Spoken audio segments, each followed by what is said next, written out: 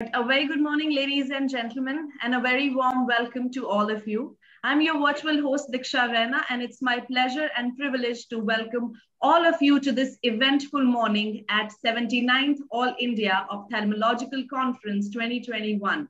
Ladies and gentlemen, to begin with the first session of the day, I would like to invite Dr. Albert Dr. Albert Tu is professor of clinical ophthalmology at Joel Sugar. And he is chief cornea and external disease section and director at cornea and refractive surgery. Over to you, sir.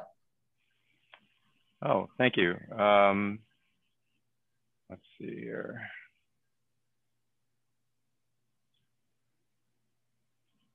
Are you able to see my screen? Yes, sir. Very good. Okay. Uh,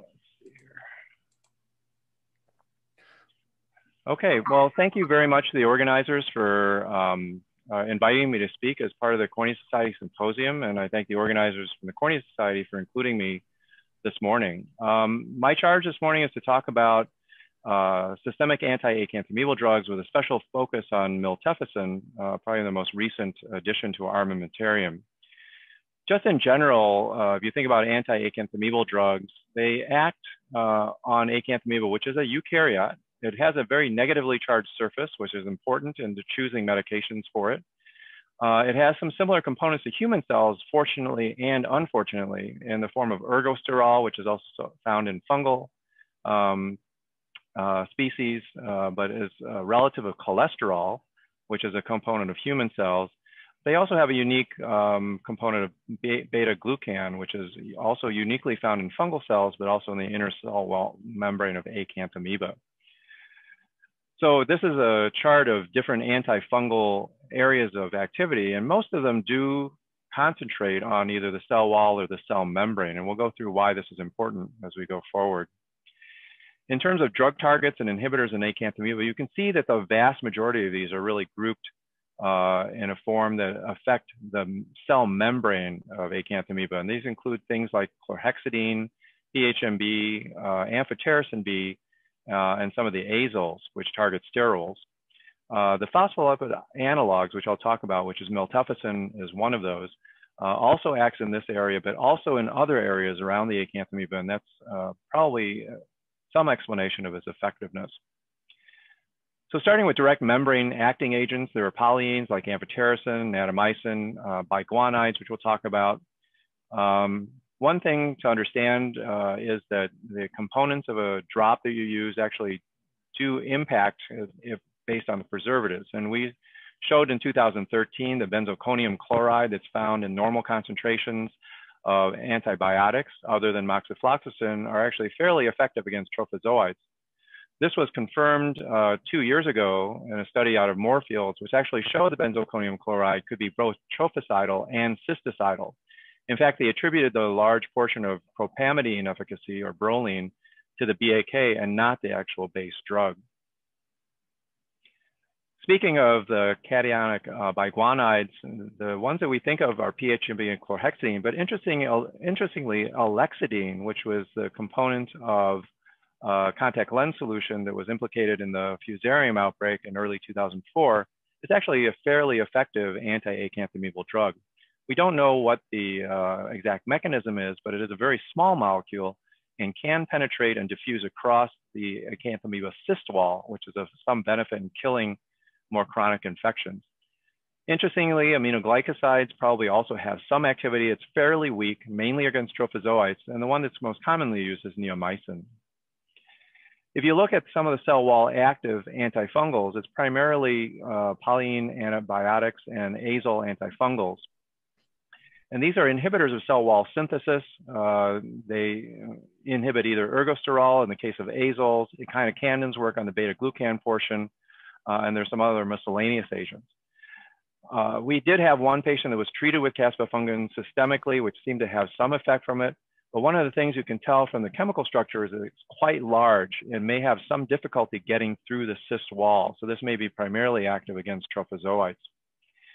The azoles are a group that have been tried in the past. Um, based on a paper uh, by Schuster and Govinda Visvesvara or Vish, um, back in 2006, uh, we were looking for uh, additional options for acanthamoeba, and we found that voriconazole was probably the most promising agent.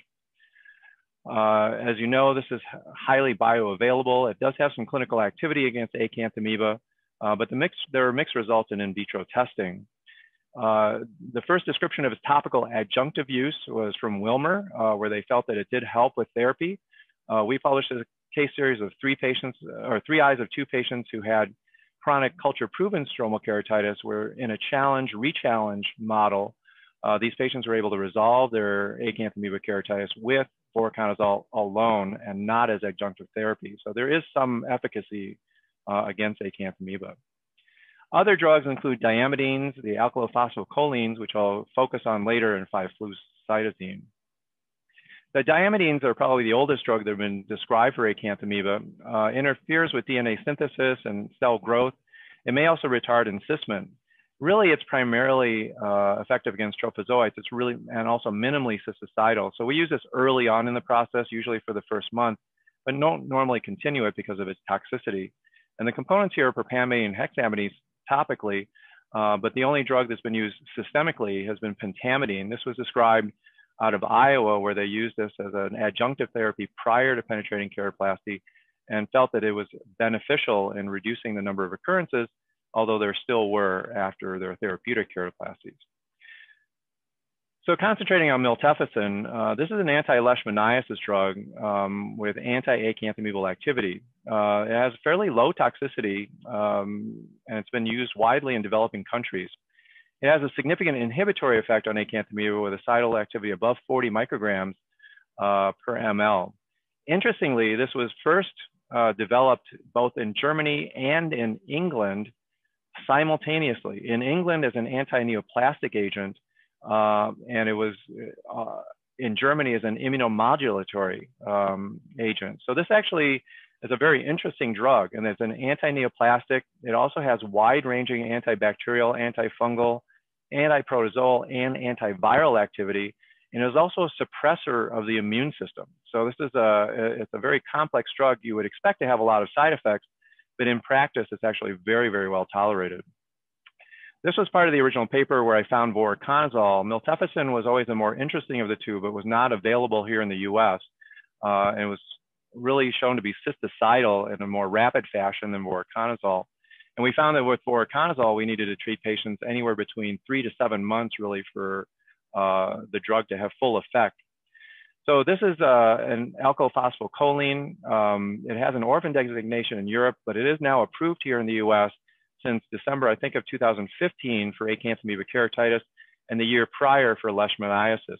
It's still fairly expensive. It's dosed 50 milligrams BID or TID depending on weight, and there's a WHO recommendation uh, and cutoff for weight where you would use one or the other. The big concern that most people have with this is in animal studies, it may cause fetal harm. So it's advised not to use during pregnancy or within five months following therapy, and I'll explain why in just a moment. It causes impaired fertility uh, uh, and is a teratogen. Really, for humans, the main uh, side effects are vomiting or diarrhea.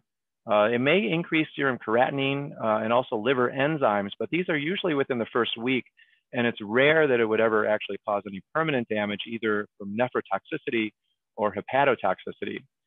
There have also been some reports of Stevens-Johnson, as there were with uh, basically any drug, and some th thrombocytopenia. But generally, in widespread use around the world, even in areas with poor nutrition and poor follow-up, uh, the number of uh, descriptions of um, side effects are fairly far and few between.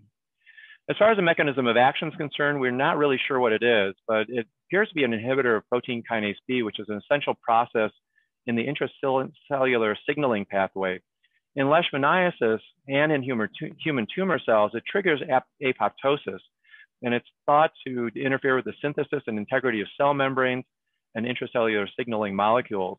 And this is a schematic on the right showing that it has, probably has a multifactorial uh, effect on the cell, including uh, destabilizing the membranes of mitochondria, the cell wall, and also causing apoptosis, as I mentioned. Another advantage of the drug is that it's highly bioavailable and the absorption is greater than 80%. And it's a very long half-life, around 31 days. And the reason why the recommendation against um, having uh, uh, or attempting fertility is that uh, the levels are detectable up to five months after therapy. So these are the early studies in the laboratory. On the left, you'll see these, these are several different alkyl phosphocholine. And the one that, the one that was most effective was APC1, which is miltefosine, that you see in all of these curves is the lower curve, uh, indicating the greatest kill rate. And in the right is uh, graphs with different acanthamoeba strains, basically showing that it is concentration dependent and not so much dose dependent. And they were, the bottom line there is really the 160 micrograms per milliliter uh, concentration. This is a graph showing that miltefosine does have an extremely long half-life, and after a month of treatment, you can still find levels uh, five months later, and this gives you an idea of the decay rate over time. They moved on to animal studies. These were well after the original description in 2006. They published in 2014 and 2012 in a Syrian hamster model. They were able to show the 160 micromolar uh, concentration that was described earlier resulted in 85% cure. And that if you combine this with PHMB, it actually heightened uh, the level of clearance of acanthamoeba. Uh, Bhupesh Bagga at uh, LV Prasad uh, took that uh, concentration and, and, treated five patients. Um, he felt that all of the patients failed uh, primarily because they had an increase in the amount of inflammation. One patient ended up with an evisceration, three with therapeutic keratoplasty, and one was eventually lost to follow-up. Uh, you can describe that as a cure if you want. Uh, our personal experience started in 2011, and that was an index case that you see at the top. This patient uh, describe later, but generally our results have been pretty good. Uh, we did have one patient who had enucleation, and that was because of epithelial downgrowth, uh, not from persistence of the organism. We published earlier this year the multi-center experience with miltefosine uh, garnered from eight different centers around the US. Uh, patients were diagnosed microbiologically in 12 and or confocal microscopy. There was some crossover. Uh, prior therapy, there were 14 or 15 uh, that um, had had biguanides prior, nine had had an azole of some kind, and five of them had had recurrences after penetrating or therapeutic keratoplasty. You can see the average time from the time of diagnosis to treatment was 216 days. So these patients were all patients who were felt to be recalcitrant with some on a shorter timeline. The results were that all patients at the end of the study were free of acanthamoeba. Three were considered failures, one because they had epithelial downgrowth. Another one had recurrence after miltefosine, which resolved with topical medications, although miltefosine was probably still on board at the time they were using the topical medications. And then one patient had discontinued their second course after uh, improving after their first course, having a recurrence several months later, um, but they discontinued because of elevated LFTs eventually underwent a PKP and uh, additional topical therapy and was also disease free. Importantly, all of these patients, about three quarters of them uh, experienced a large spike in inflammation around week three of treatment. Uh, and this took the form of either increased corneal infiltrate or increased anterior chamber coagulum. Uh, and, but these were modifiable with topical steroids in the vast majority of cases, and most patients continued therapy through that. Uh, 10 of the 15, interestingly, described a significant improvement in pain within a week or so of starting therapy, uh, which was interesting, but we don't know what the mechanism is. There have been a number of other studies um, from the UK and from the US, uh, which have described similar experiences. Uh, Dr. Amescua is going to be talking later, who authored the largest paper uh, of these of this group. Uh, they had six patients, and they all had the symptom of inflammation with perforation uh, we were able to avoid that in all of our patients just by adding an immunomodulatory agent like topical corticosteroids to try to obviate that. And it seemed to be successful in uh, allowing them to continue therapy. So in conclusion, miltefosine is a wide-ranging anti-infective, anti-neoplastic immunomodulatory uh, drug the pharmacokinetics show a very high oral bioavailability with excellent tissue levels widely distributed throughout the body and a long half-life, which makes an ideal systemic medication for tissue penetrating um, uh, infections. Uh, the, physio the metabolism of this, uh, basically it's broken down in individual cells into uh, physiologic components. So there is no excretion from the liver or kidneys, uh, and that's why the toxicity is relatively low. Main side effects are GI tolerability. Uh, there may be reproductive or teratogenic effects in animals, but hasn't been proven in humans. Uh, there's, I think there's ample evidence now that in vitro and in vivo evidence that it has good anti-acanthamoebal activity when used systemically. And it's probably, in my opinion, the most effective of all the systemic medications that are currently described for acanthamoeba. The severe ocular inflammation can be modulated with adjunctive corticosteroid use at the time. Unchecked, it may lead to keratolysis and perforation. Interestingly, patients who are treated with this for leishmaniasis can also get an idiopathic inflammation of their eye, uh, which may also cause some significant uh, uh, pain and morbidity. Uh, and this may be an idiosyncratic response of the body uh, miltefosine. And then finally, I, want you to invite, I wanted to invite you to my hometown and where I live currently in Chicago for the World Cornea Congress uh, in 2022, immediately preceding the American Academy of Ophthalmology. Thank you very much uh, for your attention. Thank you, Dr. Tu, for an excellent presentation. It's a great way to uh, kick off uh, this symposium, which is performed in conjunction with the Cornea Society. My name is Anthony Aldave. I'm the Vice President for National Relations uh, for the Cornea Society. Dr. Tu, as you may know, is the immediate past president of the Cornea Society. And the topic of this symposium is strategies for prevention and management of infectious keratitis in challenging situations. Obviously, acanthamoeba keratitis certainly qualifies for a challenging uh, situation. We have three minutes uh, for Q&A for uh, Dr. Tu. I don't see if we have any questions from uh, the audience, but I'd invite any other panelists uh, to ask Dr. Tu questions if you have any. Uh, one question I have is uh, maybe for Dr. Raina. Is miltefosine available in India? Uh, and if so, is the cost an issue as far as availability? This question also from Namrata. Is cost an issue as far as being able to obtain it for your patients? Actually, it's been approved in India for quite a number of decades. It's the first country that approved miltefosine for leishmaniasis, and all of the initial studies in leishmaniasis were actually conducted in India, so it should be widely available there. So it is available, and but it is costly. That is uh, definitely there, but it is very much uh, available in India. And uh, Dr. Tu is right; it has been available for many years. Cost, I, I think. This, I think Elmer had showed us it was fifty thousand dollars for one month treatment in the United States. Is it that costly in India, no, no, no, or a little bit more reasonable? No, no, no, no. It is much more uh, reasonable here. It doesn't cost uh, more than uh, 15,000 rupees. So 15,000 would be all of you have been in India divided by $70. so much, much more $150 or $120. So that's really not too much. Oh, that's good. Well, I appreciate, uh, Elmer, your insights. And I know personally, I've actually consulted Dr. Tu on several of my acanthamoeba cases, and his, his experience is invaluable to helping me uh, in management of my patients. Also, Dr. Mesqua, who we're going to hear from later, has also been a great resource to me for managing my patients with acanthamoeba. If I, I might, we'll might make one comment, Tony? Please. Yeah, so one thing I would recommend is that with, uh, I know that there's a propensity to use the miltefosine in multiple courses. I think it's probably a good idea to just use one month uh, because of its long half-life. I think it does build up over time. So I think it's worthwhile just to use one month first and take a pause and see how they respond before adding uh, additional medication, just as a uh, as a side hint. Thank you. Sage advice. We'll now go to the next speaker, who is a current president of the Cornea Society, Dr. Kathryn Colby. Uh, her topic that she'll be speaking on uh, is pediatric herpetic keratitis. You see on the slide uh, on the screen that Dr. Colby is the Elizabeth J. Cohen Professor and Chair of Ophthalmology at New York University.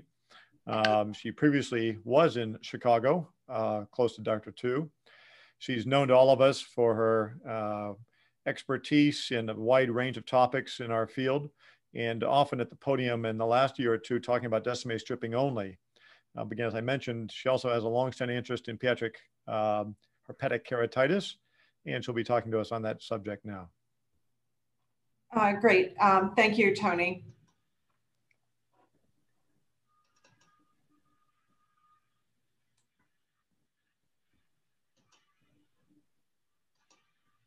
Can you see my screen? Perfect, perfect. Yes, we Okay. can. Uh, thank you. It, it's really a pleasure to uh, be doing a collaborative symposium with the All India Ophthalmologic Society. Um, I'm going to be speaking today on pediatric herpes, a topic that is certainly challenging. I don't have any financial interest. The use of systemic acyclovir is not approved by the FDA in the US for children, and I do receive some royalties for my uh, corneal, my book on corneal disease. I'd like to begin with a case. Uh, this is a healthy 10 year old girl who was sent to me urgently for unilateral viral conjunctivitis with the recent onset of corneal edema. The referring ophthalmologist thought that she had adenoviral conjunctivitis. She had had a similar episode one month prior, and her vision was reduced to 2080. She also demonstrated reduced corneal sensation. On exam, you can see here a classic picture of a Wessely ring. And so my diagnosis in this setting was herpetic keratitis. Um, I started her on oral acyclovir and topical loteprednol uh, three times a day. Four days later, you can see that the ring uh, is beginning to resolve and that there is some stromal edema uh, consistent with um, edema. She did well, and in one week, the steroid was reduced to twice daily. Two weeks later, her vision had improved to 2050. She had resolving edema, and I reduced her to loteprednol Q day and a prophylactic dose of oral acyclovir, which is 400 milligrams twice daily.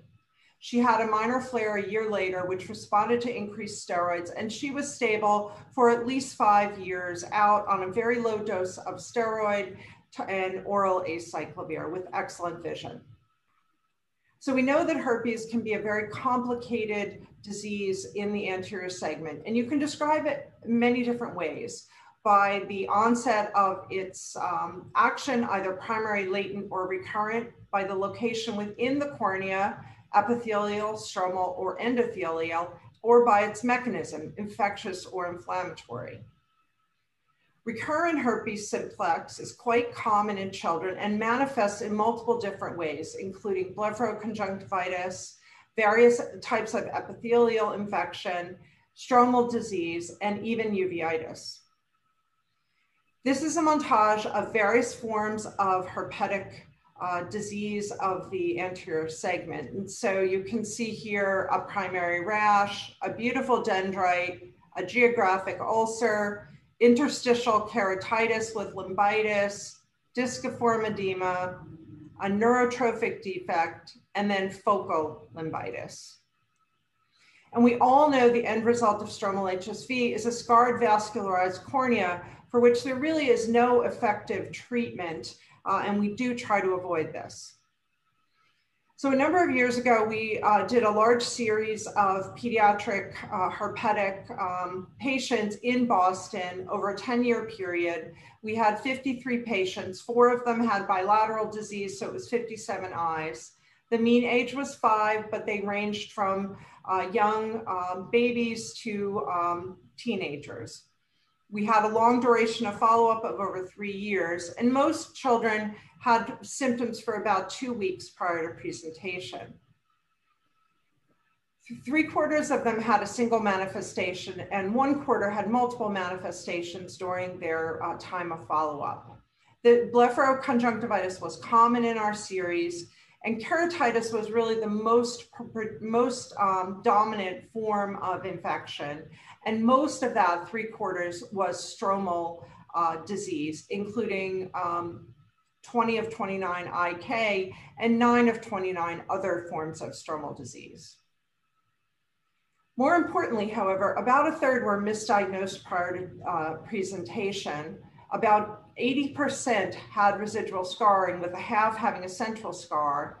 And because of the scarring and um, melting of the cornea, uh, about a quarter had uh, induced irregular astigmatism, also associated with a reduction in vision to less than 2040.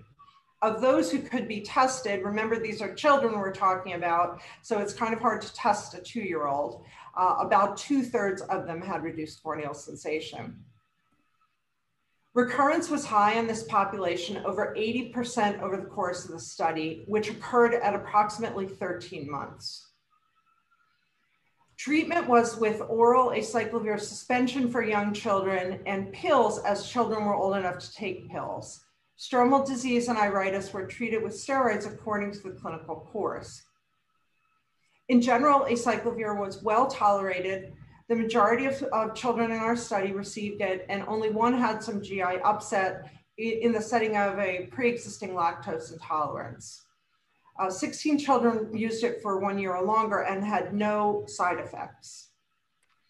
This is from our paper, it's the treatment guidelines. And basically, I like to make things simple for parents. Uh, and we do this basically um, by half uh, teaspoons or 2.5 milliliters and adjust the dose uh, according to the weight of the child. There is a wide um, safety margin uh, for acyclovir. Since we published our study, a group in Mexico has also presented similar results of about 100 patients, slightly older patients of nine years for, with a shorter duration of follow-up and they too found uh, interstitial keratitis in quite a few patients and a high recurrence rate. Also, they showed reduced vision. So I'd like to uh, continue with a few uh, case reports that illustrate some important points. Uh, this is a photograph from an eight-year-old girl with a four-year history of steroid-dependent keratitis.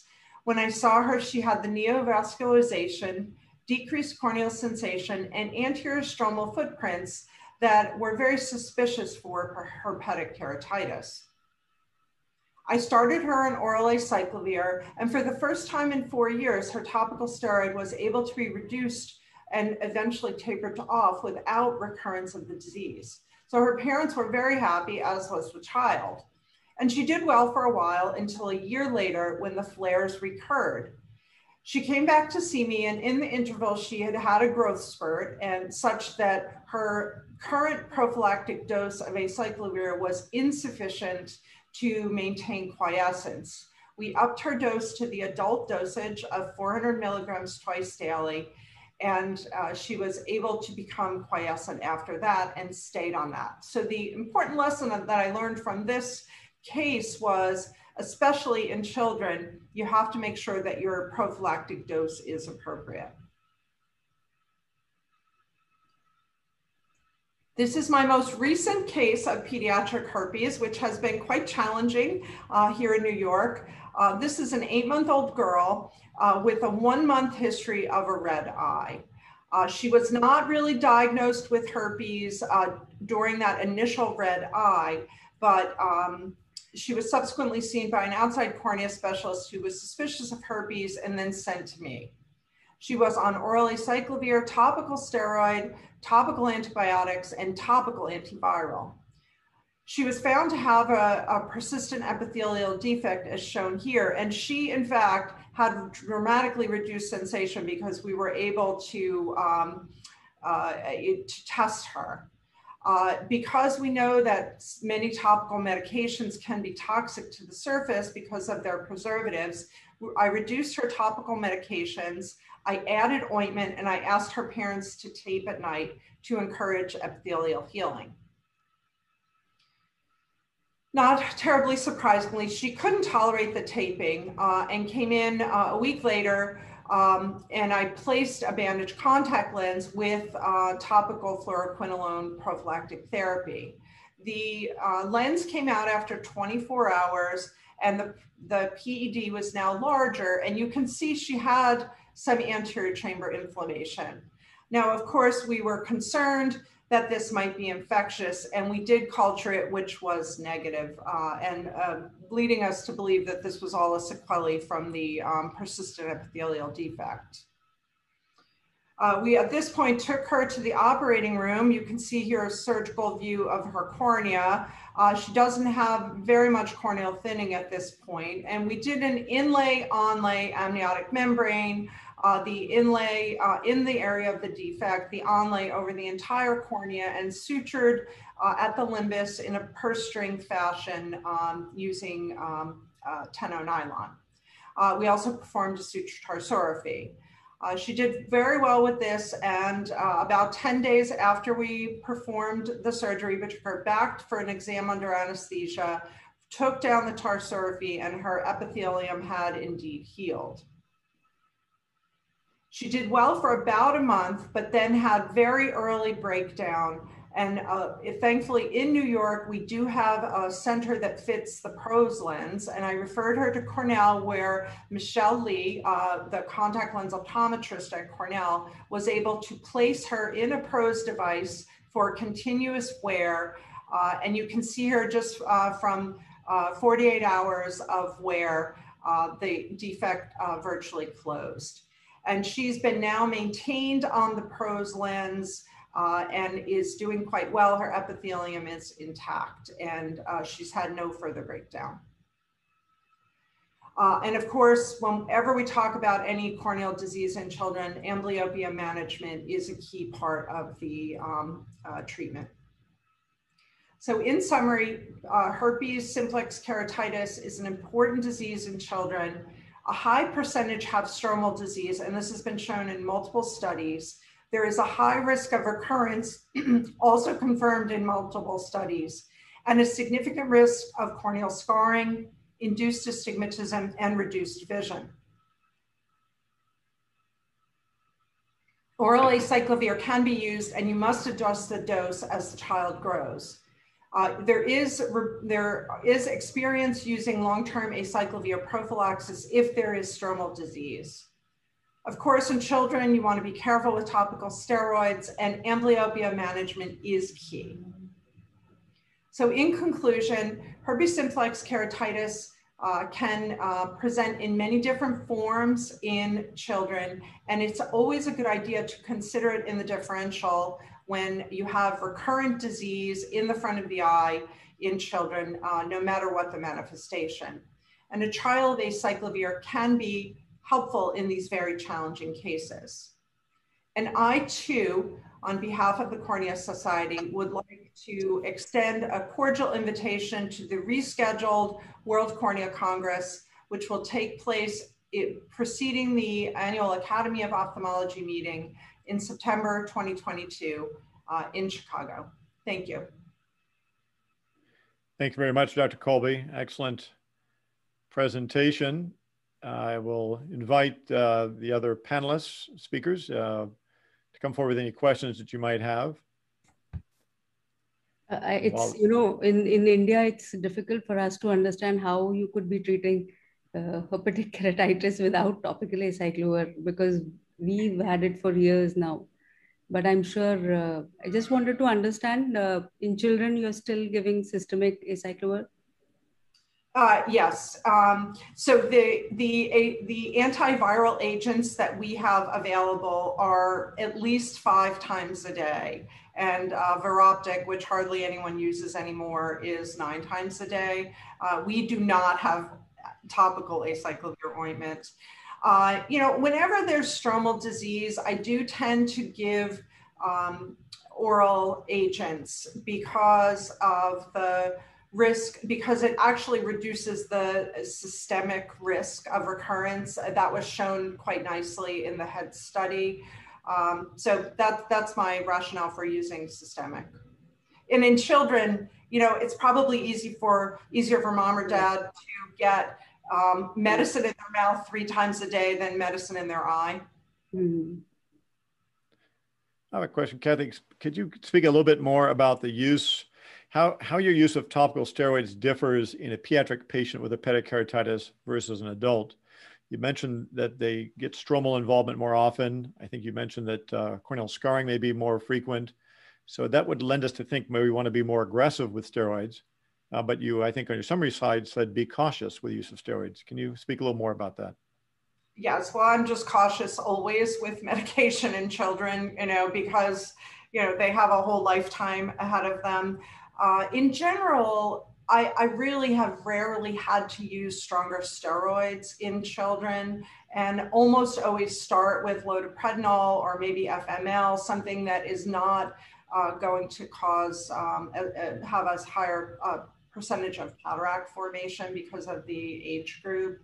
Um, I think, you know, stromal keratitis is a very challenging condition to, to treat.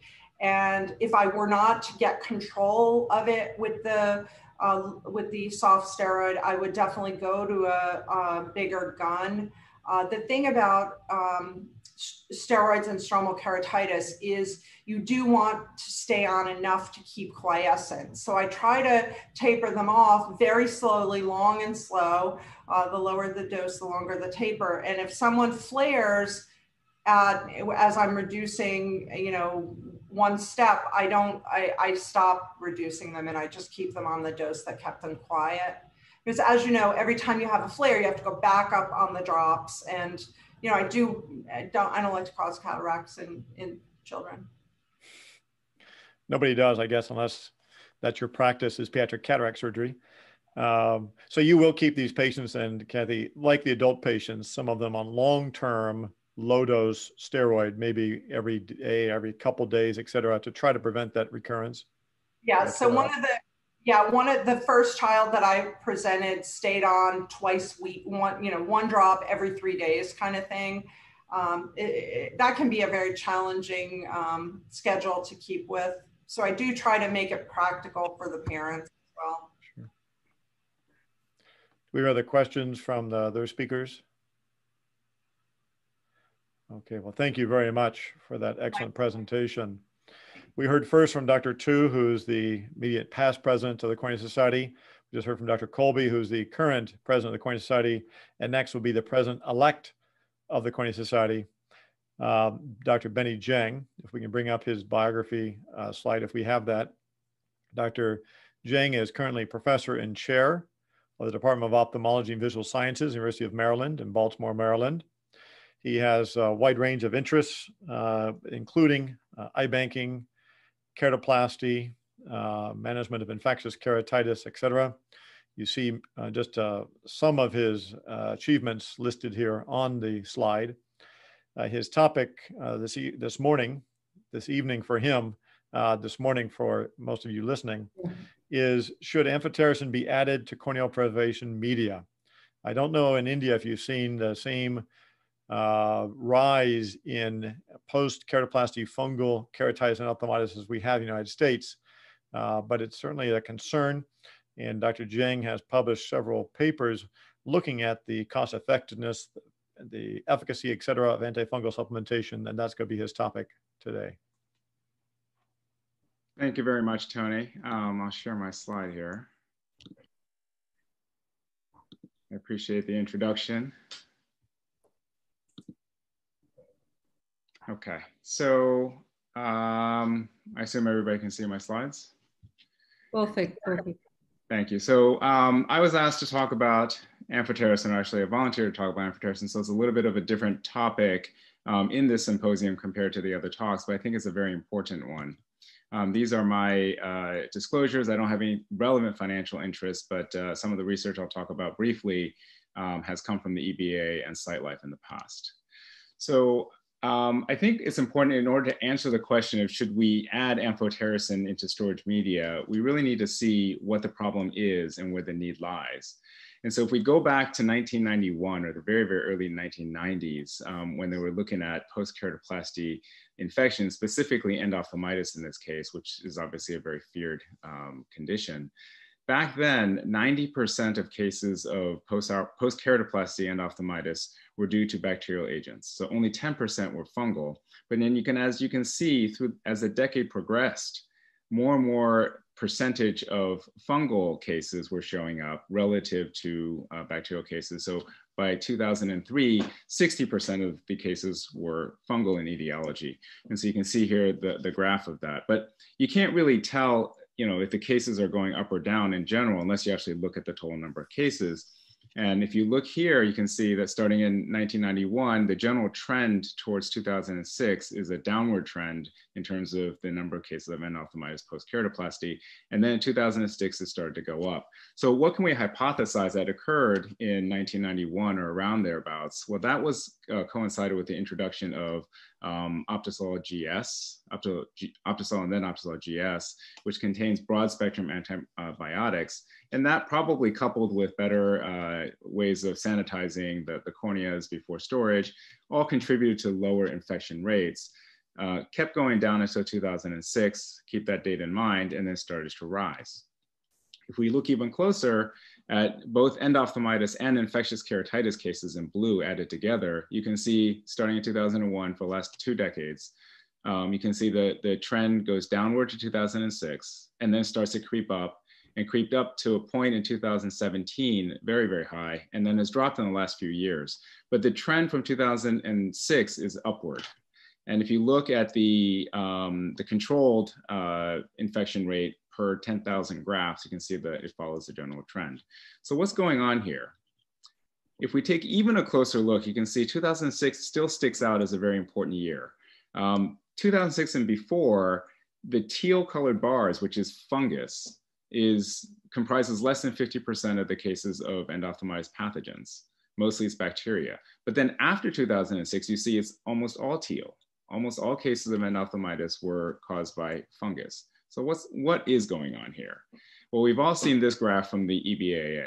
And you know, most people show this to show that in 2011, EK took over from PK as the more commonly performed keratoplasty procedure done in the US. But I want to bring you back to 2006, what I talked about. And 2006 is the steep, steepest rise in terms of the rate of uh, EK cases being done in the US. And it, that trend continued to go upwards and still is. EK uh, is more popular and more commonly done than PK. So can we correlate that? Can we actually say that the rising cases and sp specifically with fungus is due to rising EK being done? You can't really do that unless you actually control for the rates uh, of the two different types of keratoplasty. And if you do that, you look here in the red is the PK fungal infection rate per 10,000 cases compared to the, uh, in green, the EK fungal infection rate per 10,000 cases. And here you can see that the rate is higher for EK. So why is that? And what is that? Well, this is a, a case that Barry Lee allowed me to show uh, a fungal ball growing in the interface perhaps this is a little bit clearer to see that it's in their interface. I borrowed this from Luigi Fontana. And if not taken care of um, in various methods, and that's a subject for another lecture, um, it can progress to something like this and then become endophthalmitis. So we definitely have a problem on our hands. Um, and the literature will support that. There's these and many other published cases of infectious keratitis from fungus in the interface from endothelial keratoplasty. And so we have that problem, and it seems like we have an obvious reason for it. And the reason in the US is that Optisol GS, which is the most commonly used corneal storage media still currently, you know, two, three decades later, contains gentamicin and streptomycin, has done a good job with antibacterial action, but does not contain an antifungal. And the colorimetric indicator that's in the uh, Optisol GS does not reliably detect Candida albicans contamination. And so and we don't have time to test it before we release it for use. Even the newer storage media, Life4C, which came around in 2011, also still only has gentamicin and streptomycin and doesn't have an antifungal. Now in Europe and in other places that use organ culture storage at 34 degrees or up to 37 degrees, they have antibiotics and they generally have amphotericin in some concentration as low as 0.25 micrograms per mil. Now, the rates of fungal endophthalmitis from tissue used in organ culture is actually lower. It is a little bit deceiving though, because it's not, not necessarily because of the antifungal that's added in there, because of the way that you can test tissue before you release it, um, tissue can be found to be contaminated and not released and discarded. And so that's what happens. But you know, does amphotericin being added in there reduce the number of, of uh, corneas that actually become discarded because of contamination? I don't know that we know the answer. And maybe those cases that have uh, that been discarded, if higher concentration of amphotericin is in it, maybe they wouldn't be discarded. We don't know that, but, but it's certainly something we should look into. Now, what's happening in the US for hypothermic storage media? Well, this is one of the first papers that actually really looked at adding antifungals into the currently available storage media. And this is from 2007. I want to highlight David Ritterband and his group for, for doing this. They looked at adding voriconazole into Optisol GS and then culturing um, a whole bunch of corneal rims, 533 that they cut in half and stored each in uh, voriconazole supplemented versus non supplemented Optisol GS and found that uh, voriconazole supplemented Optisol GS was able to reduce um, uh, po positive cultures for fungal growth um, down to zero from seven in the other group. Now, not a lot was done from that, that point on for a while. And in this report from the Eye Bank Association of America uh, Medical Advisory Board subcommittee on fungal infection after corneal transplantation, at that time in 2013, actually did not recommend that the storage, storage media should be uh, supplemented with an antifungal agent at that time.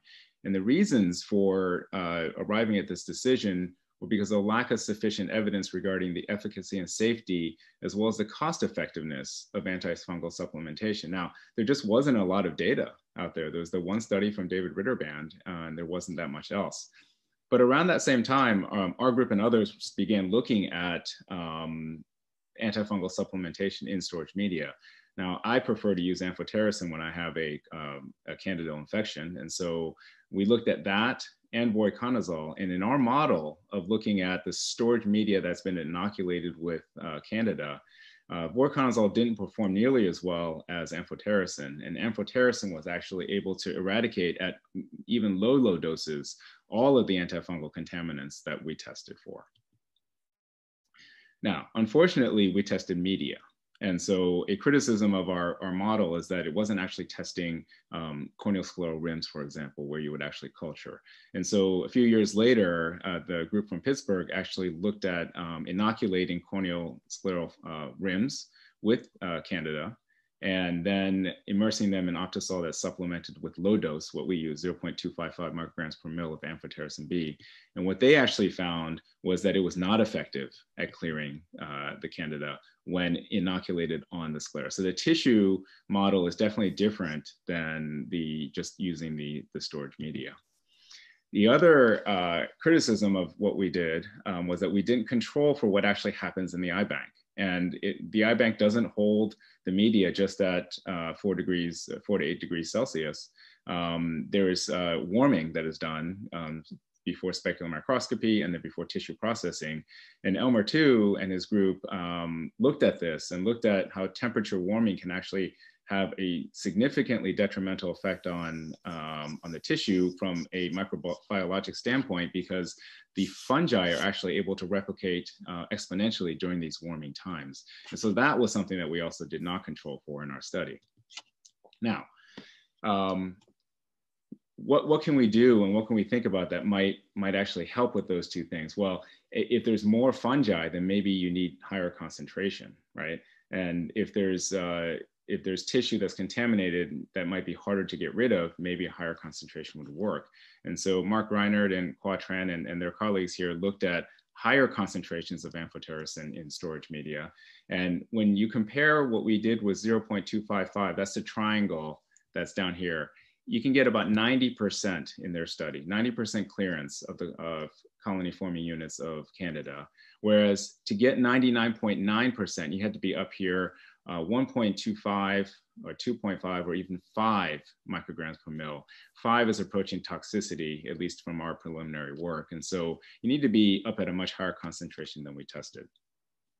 There's actually uh, an interesting product that is, is, is coming out um, or it's just come out called Kerasave. Um, one of the problems with amphotericin is that's unstable. So you can't just put it into solution and then dispense it over the year um, uh, after you've made the storage media. Um, it breaks down, it, uh, it, it, degrades with light. Um, and so this is actually a tablet that's, that's put in um, at the time that the cornea is put in and yields a concentration of 2.5 micrograms per mil, a higher concentration than we studied, but one that was shown to be uh, to eradicate 99.9% of organisms. And you can see here for many strains, not glabrata, but for uh, albicans and tropicalis, um, it was able to uh, completely eradicate the colonies. Okay, now the biggest question that we've had for a very long time is safety. Um, a lot of studies have looked at safety, but with very, very small numbers, just a, a couple of pairs here and there looking at endothelial uh, function um, and, and structure. This uh, study using Kerasave uh, compared to Optisol actually looked at a lot of parameters and a lot of corneas, not just a couple, a small handful, looking at endothelial cell density, uh, central corneal thickness, the transparency of the cornea, the polymorphism, endothelial cell borders, and basically found that there was no difference compared to Optisol. And from this study, they deemed that the 2.5 microgram per mil concentration was indeed actually safe. So how about cost effectiveness? Well, this was one of two cost effectiveness studies that have been published in the last year. Um, and this one determined that um, the supplementation with amphotericin uh, was cost effective at a, at a level of 100,000 US dollars per QALY. Um, the couple of important caveats here is that they are, they are looking at an efficacy of 70%, and they're also taking in consideration the incidence of these fungal infections during the years from 2012 to 2017. So on the graph early on, when I showed you where the incidences have dropped off, maybe this will push it so that it, it is not quite as cost effective. But using those numbers, um, they deem that uh, supplementation with amphotericin is cost effective. And this paper that was published in the Blue Journal uh, came to similar conclusions just looking at different parameters, finding that amphotericin is the cheapest one um, and the most cost effective one to use. Okay, so I, I would be remiss if I didn't admit to the fact that there are other things out there that help with uh, antifungal uh, action. Um, and one thing that was published by Barry Lee and his colleagues from the Georgia Eye Bank is the use of povidone iodine exposure uh, times and doubling them when harvesting the cornea. So eye banks traditionally have exposed corneas from two to five minutes with betadine, uh, povidone iodine, and then rinse it off and then harvest the cornea. What they proposed is actually doing two five minute washes separated by five minutes before harvesting the cornea. And when they looked at the transplants that were done in their centers, so 631 of them, before they changed their protocol, um, they had uh, two fungal infections. They had 12 positive fungal rims. Okay, and after they changed the protocol, of the 725 uh, cases that were done, they had only two positive fungal rims and zero uh, fungal infections. And just taking a look at the percentages, you can see the positive fungal rims from before the change in protocol went from 3% down to 0.5%. Uh, I'm sorry, 3% uh, down to 0.6%. And clinical fungal infections dropped from 0.5% to zero. Now, with a positive rate here, um, that tells us that, you know, you get false negatives all the time. So there still is fungus that is not necessarily covered by this procedure. And sooner or later, you can still get a, a, clinical fungal infection. And so the question is, do we think that we should still supplement then just to cover those um, particular ones? Now, I'll tell you that the Cornea Journal um, invited a number of us to write pro-con uh, uh, stances, uh, editorials on different topics related to this. And uh, I had the pleasure of going uh, against my usual sparring partner, uh, Dr. Elmer Tu, who's on the line here um, who argued against uh, antifungal supplementation. You can tell that I'm arguing for it. And he cited three main things. One is that the rate of um, fungal infection in Europe uh, being lower is not because of amphotericin organ culture. And, and I talked about that already. It is because they are able to discard tissue, but potentially a higher concentration of antifungals might prevent more tissue from being discarded. The warming of tissue for processing was not addressed, and I did address that that was a shortcoming of our study. And he says that safer and more cost-effective interventions are already bearing fruit, and that's what the povidone iodine flushes, um, which um, again is good, but doesn't completely eradicate everything. So do we want to still supplement? And that's the question. And I just want to say that uh, uh Dr. Tu slyly uh, was able to use my own words against me in his editorial that argued against me. So in conclusion, I just want to say that I hope you can see that post-endothelial keratoplasty fungal infection are a real problem. Now, there are various methods to decrease this rate, with disinfection at the time of procurement being a big one that has just come around. But the addition of antifungals into storage can still offer protection and still and seems to be safe with further studies that we've seen. But I think it needs to be at a higher concentration than initially believed, at least at 2.5 micrograms per mil. Um, the more research that I think that is needed is looking at safety with regard to actual clinical outcomes um, after keratoplasty to see if, how, if there's a problem with longevity of the tissue. And so to answer the question, should amphotericin be added to corneal preservation media? Yes, it should once we confirm safety in clinical trials. If you've missed anything, this is my editorial you can look up. And in following the uh, past president and president of the Cornea Society, I also want to extend my uh, hearty welcome and uh, invitation to attend World Cornea Congress 8 in Chicago. Thank you very much. Thank you very much, Dr. Jeng. Excellent comprehensive presentation. Um, wondering if your sparring partner has any comments, a rebuttal, or anything that he'd like to echo. Well, I would point out at the Eye Bank Association meeting last week uh, or two weeks ago that Marjan Farid presented her study looking at 2.5 micrograms, uh, and it did not eradicate uh, the fungal positive rims. I mean, it reduced it by a small amount, but it wasn't effective at eradicating all of the fungus. So I think if you're looking for real world evidence, there it is right there is that uh, there have been infections in patients who have had supplemented uh, Optisol GS, and there also have been uh, a similar number of positive fungal rims. So I, I think that at this point, I, I don't think amphotericin is the answer. And those cost effectiveness studies basically showed that amphotericin was the only one that could be cost effective. All the other ones were not. Yeah, we are, as uh, you know, interested in looking at post DMEK fungal infections. We just became aware of the 34th and 35th cases. And out of that number, three were corneas stored in uh, antifungals. Obviously, what we need is the denominator.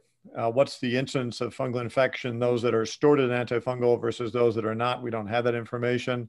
But to echo what you just said, Elmer, obviously putting it in a preservation medium with antifungal does not guarantee against the recipient developing an infection.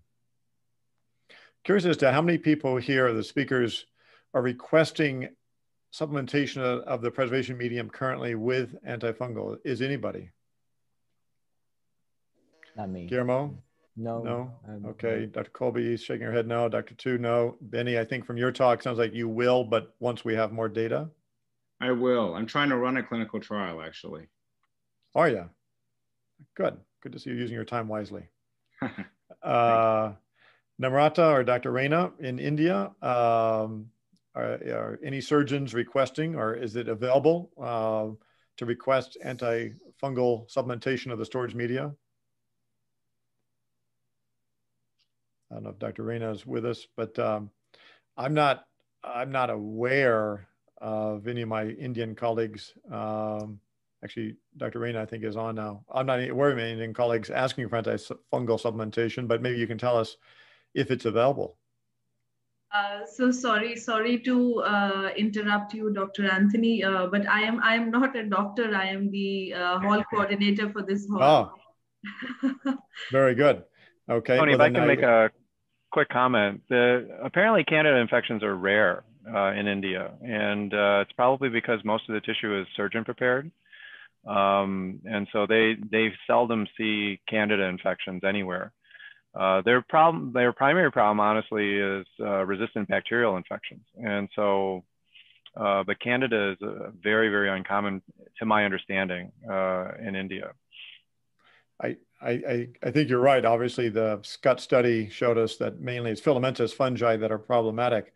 Uh, but I do believe that at least there, and I may be wrong here, but I think uh, my good friend Samar Basak, many years ago, maybe as he published a paper looking at post keratoplasty fungal infections, eyes on topical steroids chronically, and they were predominantly Candida, in, in India. So I think in some populations, like that group, post keratoplasty infections, they are still seeing Candida. But I think, like I said, overall, I think the burden is mainly with due to filamentous fungi. Well, we're going to now move to another uh, subject in this uh, symposium regarding uh, strategies for prevention and management of infectious keratitis in challenging situations. And Dr. Guillermo Amezcua is going to deliver our next talk. If we can have his uh, summary slide up. Dr. Amezcua is an Associate Professor of Clinical Ophthalmology and Director of the Ocular Surface Center at the Bascom Palmer Eye Institute in Miami.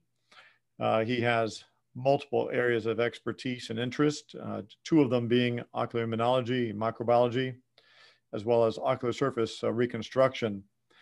Um, he has published uh, on what I think is a very interesting area, which is the use of rose Bengal photodynamic uh, therapy for treating progressive infectious keratitis. And uh, he'll talk a bit about the use of this technique for refractory keratitis. Dr. Amezcua.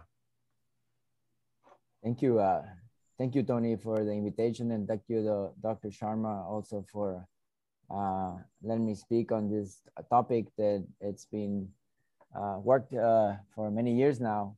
Um, and thank you for the Cornea Society uh, for letting me participate. Um, yes, like uh, Dr. Aldave said, I'm going to talk about the use of rose bengal uh, for patients with progressive um, keratitis. Uh, for my financial disclosures, I, I, don't have a financial interest. I do uh, own part of the patent of the light source that we use. Uh, and uh, what I'm presenting is experimental and is a, not yet FDA approved. we're trying really hard, but not yet. Um, this has been a total teamwork. Uh, I work, uh, very lucky to work under the leadership of Dr. Jean-Marie Parel and many others, and uh, lucky to have uh, my boss and mentors uh, that have been supporting me this project uh, for now years. So living in South Florida is like living on a Petri dish. So we see a lot of keratitis and um, many patients come from from far away, from the Caribbean islands, from out of state, etc., with progressive keratitis.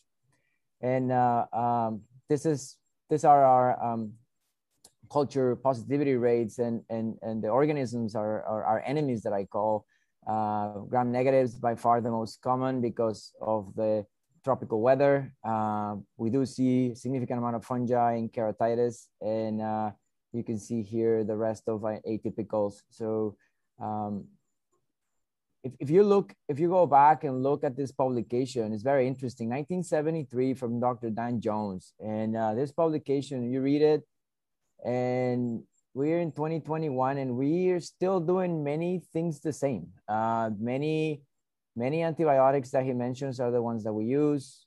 I, uh, in my career, haven't seen many new antibiotics develop. We're still using the same commercially available antifungal, natamycin. Uh, we do use some compounding uh, antifungals, but um, there's, there's not a lot of tools for many aggressive organisms that we see. So this publication, Dr. Jones, uh, and the strategies that he mentions are, are strategies that we're still using, like trusting a gram stain or trusting a calcofluor white uh, to decide our treatment. So I think if you know if you have a practice with a, a, a significant amount of, of infectious keratitis, we can summarize it by saying that for bacterial and for viral disease, we, we, we have a pretty good uh, way to treat them. Um, we, we, if you have access to fortified antibiotics and the patient is compliant, they, if you catch it early, the patients will probably going to do just fine. And, uh, but for atypical bacteria, not so good. And for fungal and parasitic, we still have a lot of room to work. And, and and these are the cases that we see. This is a typical Friday afternoon at 4.30 p.m. when the resident comes and tells you that it has a red eye that needs help. And, you know, so the, the, the infection is going to the sclera, the cornea has half the thickness that it should be. And you do, and you're excited early in your career to do therapeutic keratoplasty, but then you have to follow this patient. They develop glaucoma, develop graft rejections. And um, so, you know, this is what uh, the project is all about. Try to eliminate or decrease the number of patients that we have to take to the operating room for a, a um, uh, therapeutic transplant. So um, when I joined the faculty after my fellowship, uh, this was very popular. The cross-linking was getting approved in the US and it was very popular in the rest of the, the world for keratoconus and it was demonstrated with significant evidence uh, that uh, there was an increased resistance to enzymatic degradation that would make the collagen fibers better. So uh, we started to ask the question, can we use this cross-linking with riboflavin and UV light to uh, help the problem that we have in South Florida? And um, we, uh, Dr. Jean-Marie Parel and his team of engineers built for us a custom-made uh, light source following the Dresden protocol. And this was uh, one of the first uh, patients that we treated with a fulminant pseudomonas, a young female and uh, we used uh, this device that was uh, uh, uh made by built by Dr. Parel, and you can see here that the the patient normally will develop this significant neovascularization. They'll start healing the disease, is stopping the melting, and we see this frequently in in patients that we treat with either cross-linking or or now PDT photodynamic therapy. And this is what we want. We want to do a transplant when the eye looks like this. We don't want to do a transplant when the eye is very inflamed. And all here, everyone here is in agreement that the prognosis will be so much better if you do the transplant in a quiet eye. And this has been the case with this patient that I still follow many, many years later. Uh, she was one of the first patients, like I said, and she refracts with a good vision and the graphs is still good. Um, then there's there's a lot of conflicting uh, data on the efficacy of, of using cross-linking. I'm talking about riboflavin with UV light. A recent publication from the group of the Proctor Foundation under the leadership of Dr. Uh, Jennifer Rose uh, show that the results are not not in, not incredibly good for for the use of riboflavin. Maybe decreasing the rate of uh, positivity on the cultures and maybe decreasing some complications.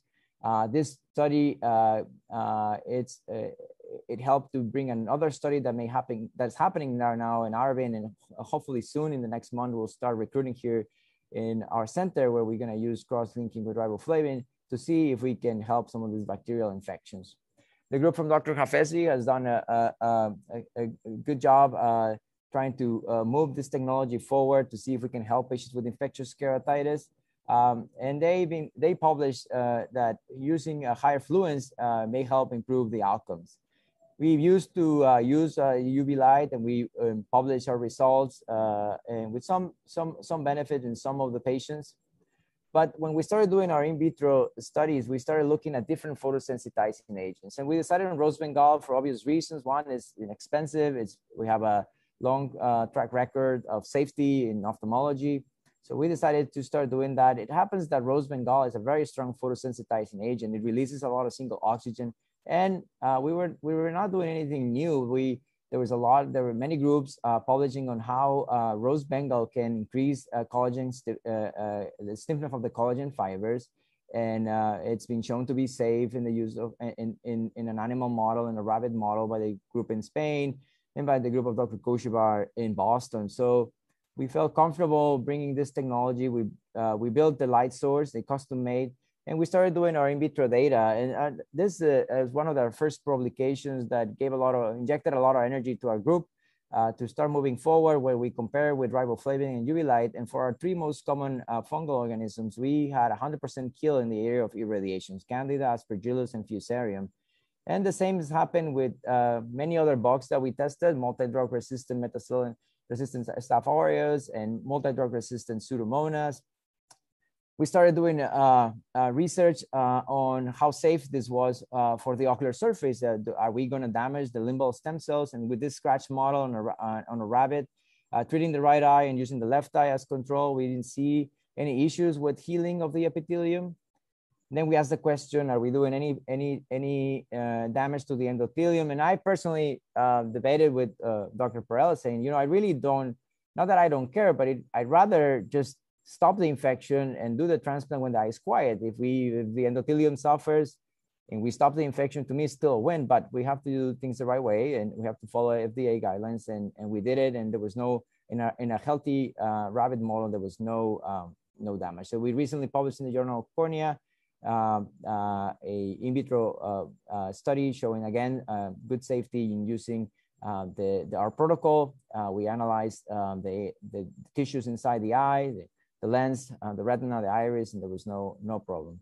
This was our first publication. This patient uh, came desperate with a uh, uh rapid progressive fusarium um, infection that was not responding to the standard medical care. And it happens that we use her sample for one of our um, in vitro studies and we show 100% killing and um, she uh, is, is, very smart and read some of the publications and asked us to do it. We got the proper consent and we did it. And um, and she ended up uh, uh, uh, healing that cornea and later on receiving an optical transplant. So we put together um, all of our results, our results that we had at that time. This is a publication for almost two years ago, a year and a half ago, and where we we feel that we stop or prevented many patients from going to the operating room. Now it's very it's not been very scientific way to um, to do this because we basically started doing it in patients who had very severe disease uh, because of the regulatory issues around this. Um, but recently we partnered with a company um, that makes um, medical grade uh, rose bengal and uh, we are doing a formal collaboration with a new um, um, grant from the University of Miami in collaboration with them. And we're starting to uh, test this, this rose bengal that's coming from them. The company is called Provectus. And um, it, it, it, gets activated with the same wavelength of the ones that we use. Um, we've done uh, all the chemical analysis and uh, to show uh, that is uh, pure and, and, and, and enough quality to, to be used. Of course, it's been used in, for, for, in that company for other oncological indications. It's been used in the form of IV, so we feel comfortable using in, in the form of uh, topical treatment. So we've repeated a lot of uh, a lot of experiments that we've already done with the Sigma Rose Bengal, and we've been pretty happy uh, with the results. Uh, we did all the in vitro studies that um, you've seen before, and they've been uh, already published. And uh, this is a candida. This is Fusarium, comparing Provectus with the Sigma um, Rose Bengal, and um, and Aspergillus is the one that we uh, we've been uh, surprised that uh, we've been we not been getting uh, the results we wanted uh, recently. So we are studying the different uh, types of Aspergillus, and also we repeated our animal data, our animal studies with with the this new medical grade rose Bengal, and we haven't seen any issues in epithelial healing using um, um, this um, this rose Bengal uh, one of our engineer uh, students, uh, MD PhD students, got interested in this in, in this project, and he he amazingly developed in, in, in under the mentorship of Dr. Parel, a device that can detect and measure how much singlet oxygens is being released when you're doing the treatment. And this is going to help us um, titrate uh, what's the what's a better dose um, uh, for for the treatment what's the, uh, the duration that the treatment should have. There's so many questions that we still need to answer. So credit here is to uh, uh dr uh, jeffrey peterson uh, who soon will be applying to a residency position. So all of you program directors um, he, he, really has done a great job. So this is a recent case and you know i, I i've always tried to um, remain as unbiased as possible with this project. But this case to me really proved that we, we, we've saved some patients from going into, uh, uh, into surgery. This is a patient that um, was from Argentina that got stuck here in Miami during the pandemic. He had no flights. He was extending his use of contact lenses. So in June last year, he showed up with this fulminant serratia. Um, the attending at that time felt that the infection may be also involving the sclera. It was not blanching with phenylephrine. The patient was in severe pain. So they were already scheduling surgery, and um, uh, one of the residents proposed to the patient uh, the option of um, of doing this procedure, and, and we did it. And the patient um, eventually healed and and and left back to uh, Argentina. Uh, he his epithelium healed, pain went away, and he came recently uh, back for follow up. And I was just so amazed uh, how his cornea looked. Look and see you know, how the cornea looked be, be before treatment and how the cornea looked uh, just a couple weeks ago. Uh, I did cataract surgery uh, last Tuesday on him, and uh, his his his vision is actually pretty decent. So I don't, we're not thinking on doing any keratoplasty on this on this patient. So um, uh, so far, you know, um, the the patients that we've seen the best results have been patients with very severe gram-negative infections, uh, patients surprisingly with acanthamoeba. With we've been we've been unlucky to uh, or not not uh, very good results in vitro with acanthamoeba, but uh, clinically we've seen uh, many patients that turn around and um, we're not very happy actually with the results of the fungal keratitis, and and and it's interesting because that's the main reason we started this project.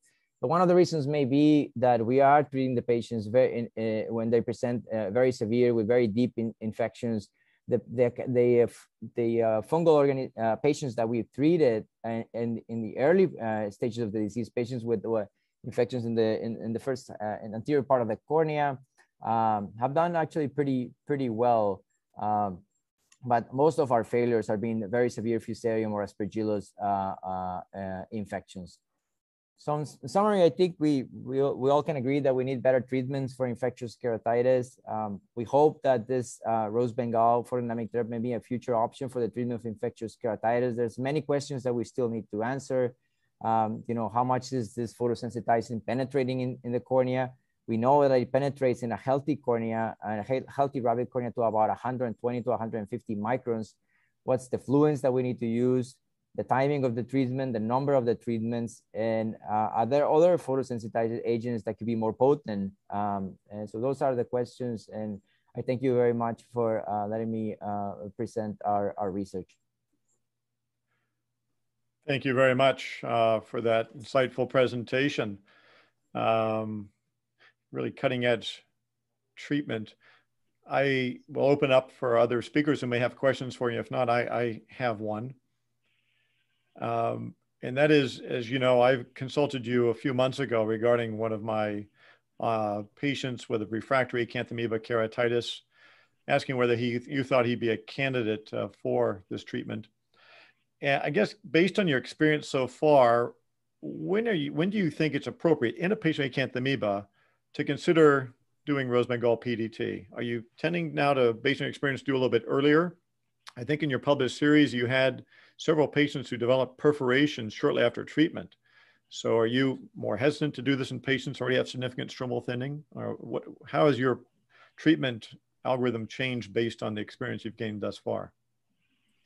Um, thank you, Tony. That, that that's a, a, a, good question and, and actually excellent question. I, I don't know if, if I can answer, but I'll, I'll be as honest as possible. So the we first started treating patients that two cornea specialists will agree that the next step was um, surgical.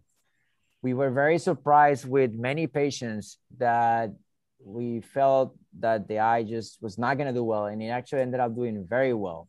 And to add, and we added the, the the the safety data that we had, the the fact that we didn't have any issues with the first patients that we treated. So we been relaxing the indication. So it, it, now it's very common that I get a call from the residents on a daily basis or weekly basis that can you use this? Uh, so uh, we, we, we can't just offer it to everyone. We have to follow uh, we have to follow rules and and and we we've been relaxing the the indications and these patients that you mentioned that had uh, perforations were also patients that were started on miltefosine and uh, I don't know if it was the PDT, I don't know if it was the miltefosine, but we we learned uh, that uh, to use anti-inflammatory therapy uh, in the miltefosine. The first miltefosine patients we treated uh, developed horrible inflammation and then developed white corneas and then eventually uh, uh, melted. What I can tell you is that the patients that required a, a, a graft in the acute setting still have a clear graft and we don't know how to answer that. Uh, there is a group in germany uh, doing research uh, with cross-linking and different uh, photosensitizations showing that you can uh, make a high-risk graft a less high-risk graft and we're really happy with those results. Um, but it's we haven't had very good standardization of the cases. We've had multiple organisms so it's really hard to study and to answer your question. This is why uh, we're partnering with, with LV Prasad and with Aravind to do a prospective study.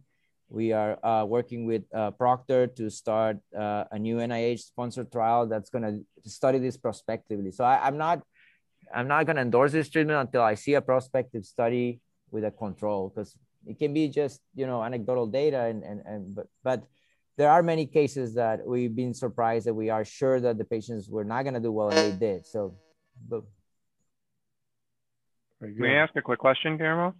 Yeah, no, for sure. This is really exciting. I think you're doing great work on this. Um, Thank you. You know, with cross-linking, I guess one of the you know, collagen cross-linking, one of the questions was whether or not some of the improvement was from eradication of inflammatory elements versus actually eradication of the bug. I mean, bacterial, mm-hmm. you should be able to sterilize them, but in the result that you just showed, um, do you think some of that effect was really more from collagen stabilization, or was it all antimicrobial?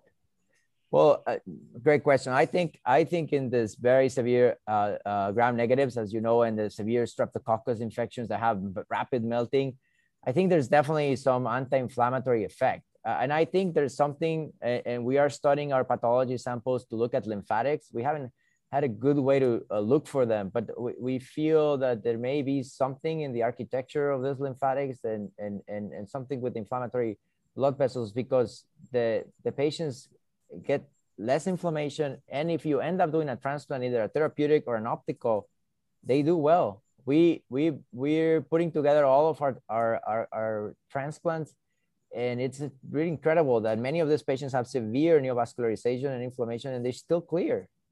I, and we just follow regular, you know, we're not using tacrolimus or anything, you know. Uh, so yeah, I think there's an anti-inflammatory and there is a, a an antimicrobial, but yeah, there, we, there's too many things that we need to study still. Well, thank you very much. We'll uh, move on then to the last speaker, uh, who is myself. If we can put up uh, my slide. Um, I am a, a, professor of ophthalmology at the Stein Institute in Los Angeles, uh, California, uh, where I've been now for uh, 19 years. My interests are corneal genetics and keratoprosthesis surgery. And we can allow me to share my screen now. The subject of my talk will be uh, regarding keratoprosthesis surgery, specifically uh, management of microbial uh, keratitis in patients with keratoprostheses. And let me see here. Are you seeing, um, make sure, I don't think you're seeing the screen I want to share.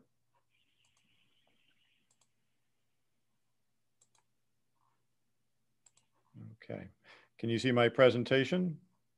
Yes, you're good. Yes. Very good. All right. So infectious keratitis, and some, some would argue that all infectious keratitis in patients with Boston keratoprostheses is complicated uh, because often it is difficult to obtain a, a culture and difficult to manage uh, because many times the infection, I think, forms a biofilm on the optic of the keratoprosthesis. Uh, by way of disclosure, I have no financial interest relevant to uh, what I'll discuss during this presentation. So we published uh, a paper about now eight years ago in the uh, in ophthalmology regarding microbial keratitis in the Boston K-Pro patients. And one thing we looked at was whether the incidence of infectious keratitis was higher in eyes with history of cicatricial conjunct cicatrizing conjunctivitis as compared to those without. And we did not see a significant difference in the incidence, although others, uh, like uh, Ed Holland, have reported uh, a difference. We thought maybe the, the failure to identify a difference is because we, we didn't have a large number of cases of infectious keratitis uh, in this series. So we decided it makes sense to go ahead and collect a larger number of cases with longer follow-up to try to determine the incidence of infectious keratitis following Boston K-Pro implantation, uh, the risk factors, um, as well as how these patients do after treatment to develop, try to develop some evidence-based guidelines for management of infectious keratitis following K-Pro implantation. So this was a retrospective uh, consecutive case series of K-Pro procedures performed, as you see on the slide, uh, during a, about a 15-year period. Uh, these are cases that uh, were identified by Mona Harissi-Dagher at University of Montreal and myself. You'll notice that the postoperative antimicrobial regimen differed a bit between Los Angeles and Montreal. In uh, Los Angeles, uh, I typically use a fourth generation fluoroquinolone four times a day indefinitely. I used to use vancomycin uh, post-op, but stopped doing that about eight years ago. In Montreal, a fourth generation fluoroquinolone is used four times daily after surgery but it is tapered down to one or two times daily and then continued indefinitely. The postoperative regimen uh, uh, at both uh, University of Montreal and UCLA did not employ the use of topical antifungals. Topical steroids were used, but then were tapered down to one or two times daily. And in fact, usually I'll discontinue unless there's some reason to continue a steroid, such as a history of uveitis. Uh, therapeutic soft contact lenses were placed after surgery to facilitate uh, maintaining intact epithelium in patients uh, who had, let's say, limbal stem cell deficiency. In some patients uh, who were more comfortable with a contact lens, we kept one on, or in some patients who felt that their vision was better, we maintained them in a contact lens. But unless they had one of these indications for long-term wear of a contact lens, we did not continue it in majority of patients. And when a patient was wearing a contact lens, it was exchanged usually every month uh, sometimes uh, as infrequently as every three months. So in this series, uh, we examined uh, 349 keratoprosthesis procedures performed in, as you see on the slide, almost 300 eyes of 268 patients. Uh, the mean age uh, was 63, and the duration of follow-up in this series was a little over four years. So if you look at the total number of eyes that we've monitored and the, over the duration of follow-up, we're looking at over 1,500 years of cumulative follow-up. So I think with that amount of data, we can actually come to some conclusions regarding, again, incidence and uh, management and outcomes. Um, so as far as the results, uh, compared to the Montreal series, the UCLA series had a significantly higher proportion of eyes with graft failure as the indication for the uh, keratoprosthesis. Also, compared to Montreal series, the UCLA series had a significantly higher proportion of eyes with prior K-Pro implantation, as you see here on the slide, 21% uh, versus 10%. However, the Montreal series had a significantly higher percentage of eyes with aniridia as the indication for K-Pro implantation as compared to the series at UCLA. So there were some differences uh, between these series, but in both, the most common indication was graft failure, and that's true for any really any series of keratoprostheses. Um, we identified 57 cases of presumed infectious keratitis after 53 procedures in 50 eyes of 49 patients. So you say, what's the, how many, what percentage of eyes develop infectious keratitis? Well, in this series, it was around 17%. Four cases were identified of recurrent keratitis in the same donor cornea. And there were three cases of recurrent keratitis in different donors' corneas in the same eye. So somebody have a keratoprosthesis, they get an infection, cornea melt, we take out the K-Pro, put in another keratoprosthesis with a new donor cornea, then it gets an infectious keratitis. And there was one case, as you note on the slide, of a patient, unfortunately, who developed infectious keratitis in both eyes. The annual incidence of infectious keratitis after Boston K-Pro implantation in this series was 0.035 cases per year.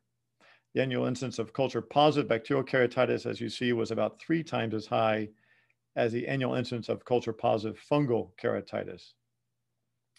So the annual incidence of presumed infectious keratitis of 0.035 cases per year corresponded to development of one case of infectious keratitis per about 29 years of follow-up. The incidence of bacterial keratitis, uh, 0.014 per year, corresponded to one case for every 71 years of follow-up, and that was significantly higher than the incidence after fung- fungal keratitis, which is 0.004 per year, corresponding to one case of fungal keratitis for every 250 years of follow-up. When the incidence of presumed and culture-proven infectious keratitis in the UCLA series was evaluated, you see it's 0.45, uh, it's significantly higher uh, than that in the uh, Montreal series. Uh, uh, there was, however, no difference in the incidence of bacterial or fungal keratitis between the UCLA or Montreal series when those were evaluated separately. Uh, as expected, bacterial keratitis was more common than fungal keratitis at both centers. Obviously, this is how North America differs uh, from India, with a significant difference in the Montreal series, uh, but not in the UCLA series. The mean time to infectious development of infectious keratitis, as you note, was about 20 months so you say, when does it usually develop? Well, as you see, it's a wide range, but typically you're looking at between one and two years uh, after surgery. You'll note also on the slide that it was significantly shorter, the time to infection in the UCLA series as compared to the Montreal series. So mean time to infectious keratitis, as you note, just under uh, two years. Bacterial keratitis appearing earlier after surgery as compared to fungal keratitis in regards to bacterial keratitis, really no significant difference between the time to diagnosis at UCLA versus Montreal. Looking here at the annual incidence of infectious keratitis, in the blue line, we have the number of cases per year out to six years after surgery. In the red line is the number of eyes reaching each time point, and that gives us, uh, in the green line, the incidence. And again, you'll note here that the incidence is the highest in the first two years uh, after surgery. So how does infectious keratitis present following keratoprosthesis implantation? Well, usually what you'll note is an infiltrate underneath the edge of the front plate. And this is sort of a classic appearance uh, of infectious keratitis in a K-Pro patient. So weight presents in about three quarters of patients. In almost two thirds, the donor cornea peripheral to the front plate, as you see I'm highlighting here with the arrow, is also involved. And so that allows you to collect a culture to identify what the organism is. But in a certain percentage of patients, in this series about 14%, the infiltrate's confined to underneath the edge of the front plate, as you can see here in this image, which makes it impossible to collect uh, a culture. So bacterial and fungal cultures were obtained in 47 of the 57 presumed cases of infectious keratitis. Uh, 22 of the 47 bacterial cultures were positive, and six of the 47 fungal cultures were positive. So that gives us a bacterial to fungal ratio of about three to one in Los Angeles and about seven to one in Montreal. And that may well be, of course, because of the different climates in the two cities. So if you develop a bacterial keratitis after K-Pro implantation, at least in North America, what are the most common organisms? Well, in almost all cases, 21 of the 22 bacterial isolates, it's staph or strep. So if you're going to be prophylaxing in your K-Pro population, at least again in North America, against bacterial keratitis, those are the organisms you want to be concerned with. So something that has good gram-positive coverage is most important. We next looked at demographic and surgical risk factors for infectious keratitis. The first risk factor is being in my practice. Uh, we see a higher incidence of infectious keratitis at UCLA as uh, compared to uh, Montreal.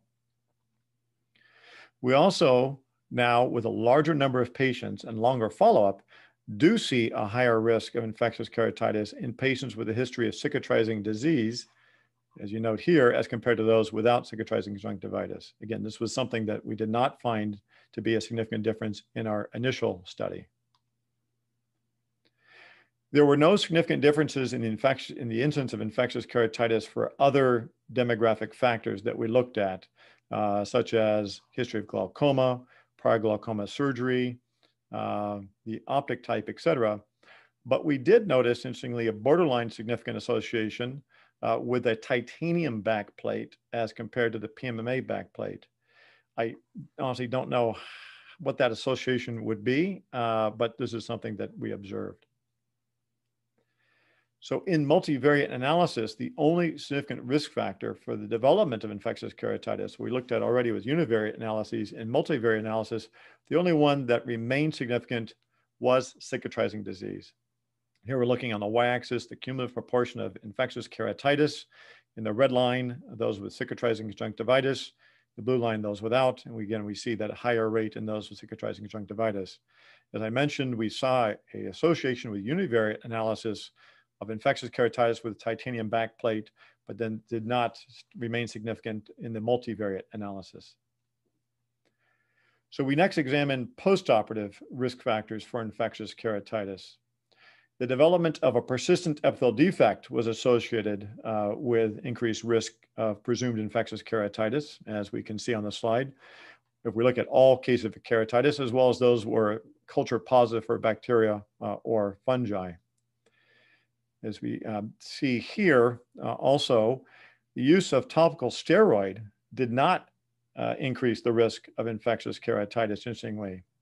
In fact, when we looked at the duration of topical steroid use, we noted that prolonged use of topical steroid was associated with significantly decreased risk of infectious keratitis overall, as you note here, as well as decreased risk of both bacterial keratitis and fungal keratitis when analyzed separately. Topical vancomycin use, uh, as I mentioned, uh, used in my practice until about eight years ago, was not associated with a significant decrease in the incidence of bacterial keratitis, interestingly.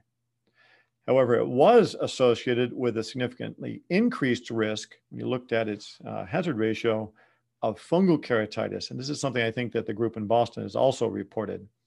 Um, however, we need to interpret this with caution because if you note here, there's only two cases of fungal keratitis that occurred while patients were on topical vancomycin. And these occurred, like I mentioned, in the first year or so after surgery, which is when I used the vancomycin, which is also when we know the rate of infectious keratitis is the highest.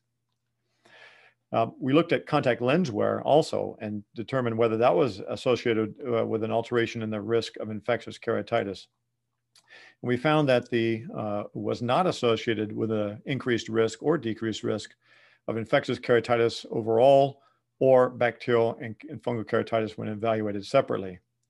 However, when the duration of contact lens wear was evaluated using a hazard ratio, prolonged use was associated with significantly decreased risk of infectious keratitis uh, overall. Now, of the, how, how, do we manage these patients and, and how do they do? Well, of the 53 cases with available outcome data, 34 of them were successfully managed with medical treatment. So overall, about two thirds of cases of infectious keratitis after K-Pro implantation can be managed medically. For the 29 uh, cases which the date of the resolution of infectious keratitis is known, the mean time to resolution was about three months. Of the 30 cases of medically managed infectious keratitis for which the visual outcomes are known, nine eyes, around 30%, lost two or more lines of corrected distance visual acuity. So 36% of eyes required surgical intervention. Replacement of the K-Pro uh, with a PK was required in about 21% of eyes, as we see here. Uh, replacement with another keratoprosthesis performed in about 11% of eyes, and unfortunately about 4% required evisceration. The decision as to whether to remove the K-Pro and put in another K-Pro or put in a PK depend on a number of different factors, including the visual potential, whether we thought the eye still had an intraocular infection that was active, uh, et cetera.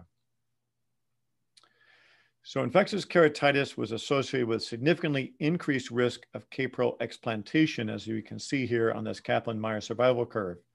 The eyes that developed infectious keratitis, we're looking at the retention in these eyes in the red line, the blue line, those that did not develop infectious keratitis. Uh, there was no significant difference in the percentage of culture positive bacterial and fungal keratitis cases that required surgical management. So what about complications that developed after development of infectious keratitis? Well, infectious keratitis was associated with significantly increased incidence of several complications compared to eyes that didn't develop infectious keratitis, including, as you see on the slide here, endophthalmitis, idiopathic vitritis, corneal stromal necrosis, retroprosthetic membrane formation, retinal detachment, hypotony, and cystoid macular edema. So to put our findings in perspective, uh, we report an incidence rate of infectious keratitis after K-Pro implantation of about 0.35 per year, which is in the reported range of between 0.034 and 0.073 that have been reported in prior studies. What's interesting, even though in this series we reported a higher percentage of eyes that developed infectious keratitis, 19%, as compared to our prior study looking at the rate at UCLA, when we looked at it as far as an incidence rate, it actually went down. This is because we have longer follow-up for many of these eyes. And knowing that the rate of infectious keratitis is highest in the first two years, with a longer follow-up, the overall incidence uh, decreased. So in conclusion, infectious keratitis remains one of the most common complications after K-Pro implantation, developing in about 17% of eyes corresponding to annual incidence of about 0.035 per eye year. Risk factors, well, we're looking at indications, cicatrizing conjunctivitis. We're looking at post-op complications, persistent epithelial defect formation. Organisms, bacterial keratitis is almost exclusively caused by staph and strep. Again, this is in uh, North America, and it is more common than fungal keratitis, which is most commonly associated with Candida species. As far as treatment, failure of medical therapy requires K-Pro removal on about a third of cases. In regards to outcomes, infectious keratitis is associated with increased incidence of other post-op complications, as we saw on that prior slide. So the significantly increased risk of K-Pro retention failure and the multiple complications associated with infectious keratitis, I think really underscore the importance of prevention of infectious keratitis in our K-Pro population through the use of appropriate antimicrobial prophylaxis, aggressive management of predisposing factors like persistent corneal defect formation, as well as prompt diagnosis and treatment in cases which you suspect an early infectious keratitis. Want to thank the collaborators at the Stein Institute, University of Montreal, and also want to thank you all very much for your attention.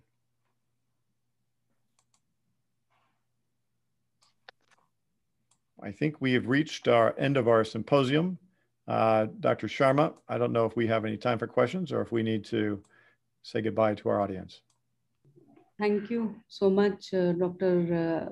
Uh, Tony Aldave, Dr. Kathryn Colby, Dr. Bennie Jeng, Dr. Elmer Tu, and Dr. Amescua for doing this. Um, we are truly honored and it's a great uh, collaboration. I'm sure it is going to continue in future also.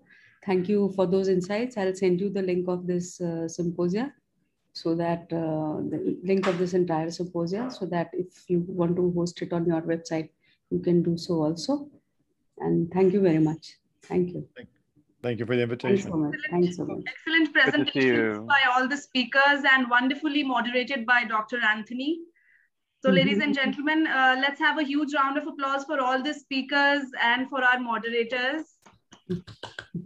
Great. All right. So with this, we Thank conclude you. this session and we'll be starting with the next session for the day around 12.30 p.m. IST. Thank you so much. Thank you, ladies Thank and you. gentlemen. Have a great day ahead. Thank you.